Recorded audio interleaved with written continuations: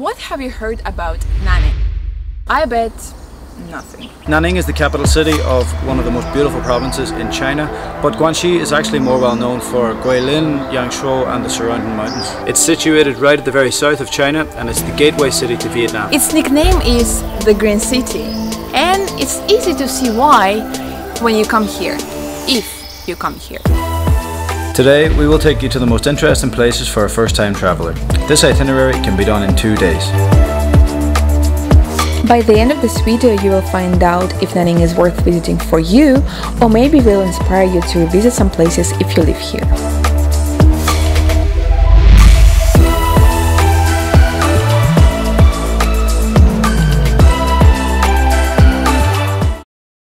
If you are coming to Nanning, book a hotel in this area. This is the new city center. The Lotus Hotel on the 80th floor is one of the best hotels in Nanning, and hopefully you will be more lucky with weather than we were. We recommend starting our two-day itinerary from the Starbucks at MingGeHu. It has a great view. See the beautiful Nanning skyline and you decided to start from here because in this place you can realize how actually beautiful Nanning is. This whole area of MingGeHu is um, a big bar area. Um, if you walk downstairs and over this bridge, you actually get to a bar called Commune. So if you're here in the evening and fancy a drink and a bite to eat, it's a great place to go. We're going to go walk that way. We're going to see a nice park, some beautiful scenery around MixC area.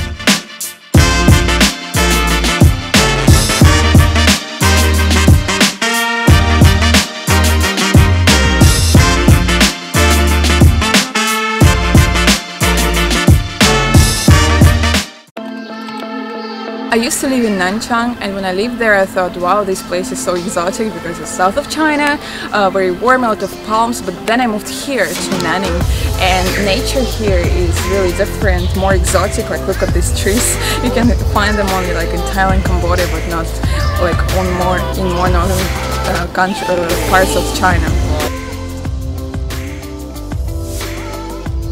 Even though Nanning is a city of 8 million people, um, there are loads of places that you can come uh, to get away from the hustle and bustle of the city life. Uh, this place is an example, we're pretty much here on our own and it's 1 o'clock in the afternoon.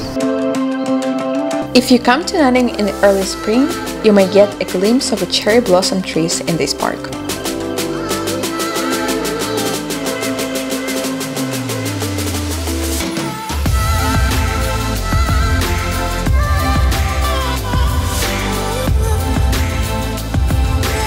So you might be wondering what the tall buildings were. Um, obviously a lot of them are office buildings, um, but we came to this place, it's called MixC, it's the biggest shopping centre in Nanning. Um, so if you like shopping, this is the place to come. Um, or if it's like a really hot day or something, there are also lots of food and drink options, so you can really spend the whole day there. So you can have lunch in MixC or any other places we've mentioned in our best places to eat in Nanning video. One of these places is located right on the top of this lake.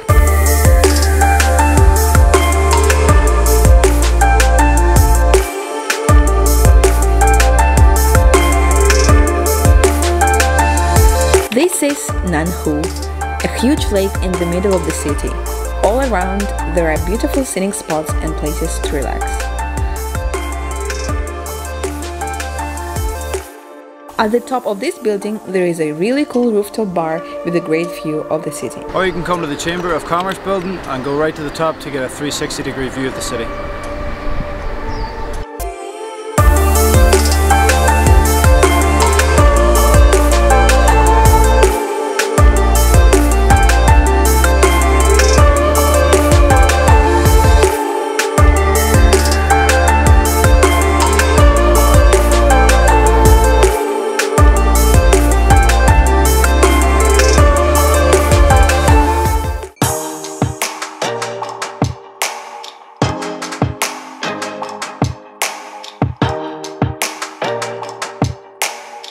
You like Chinese street food, another fun thing to do is to visit Zhongshan Lu.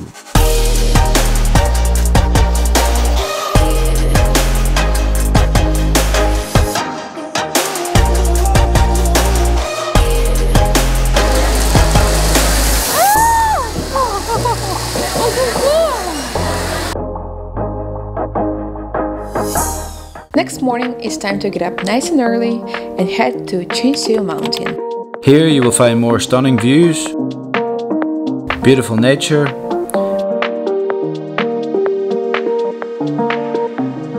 and what makes this place stand out is its abundance of traditional Chinese architecture.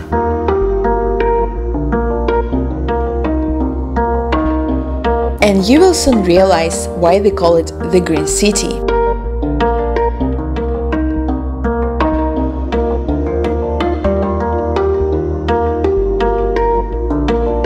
The park is huge. You can take a bus or a train to take you around. We chose the bus because it was the cheaper option.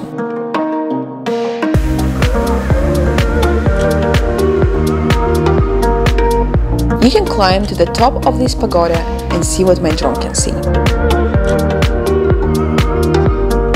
At the bottom of this tower is a big lake with some hungry fish.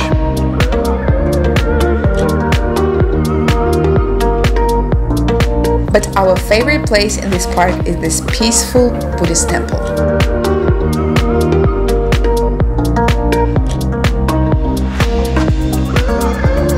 From the scenic area just beside it, you can see Puxian district. There are also a few more temples you can visit. This park is truly huge. You can spend the whole day exploring it.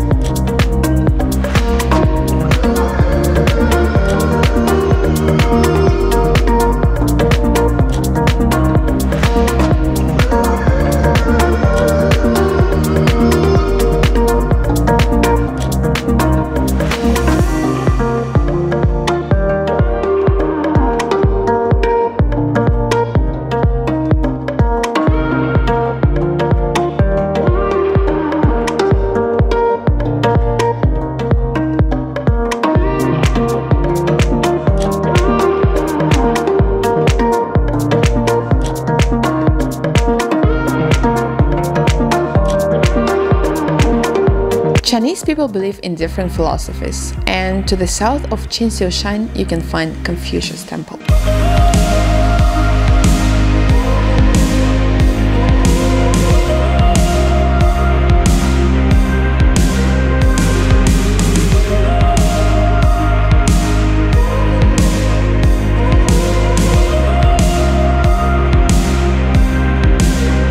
The next half of the day, you can explore the other side of the river. Here you can find more modern architecture, get a coffee in Wuxiang district, and further south there is yet another park. And what better way to finish two busy days of being a tourist than with a cocktail in the clouds, 80 floors up in the Sky Lounge of the Lotus Hotel. Okay, so that's the end of our video. Um, we hope you've enjoyed learning about some of the most interesting things to do in Nanning in our experience. And if you like this video, please leave a like, it will mean the world to us. And subscribe to the channel, uh, and if you feel like sharing this video, please do so. And if you come to Nanning, we hope you will have something to remember.